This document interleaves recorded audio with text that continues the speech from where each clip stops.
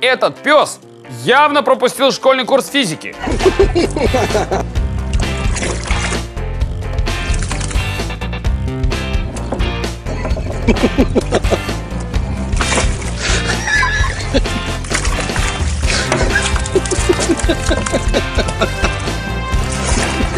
Хозяевам стоит заставить пса нырять где-нибудь в Карибском море, в районе затонувших кораблей. Только стоит следить за тем, чтобы сундук с золотом, который вытащит пес, не скатился обратно. И даже если питбуль знает, что сила тока на участке цепи прямо пропорциональна напряжению и обратно пропорциональна сопротивлению, это ему в этой ситуации никак не поможет. Причем каждый последующий прыжок пса все лучше и артистичнее.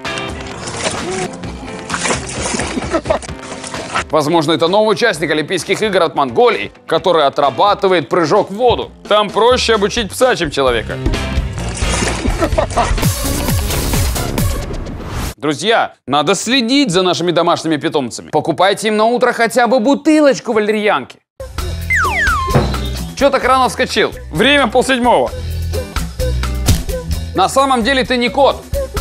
Ты кошка. Уберите от экранов диабетиков. Сладость этого видео просто зашкаливает.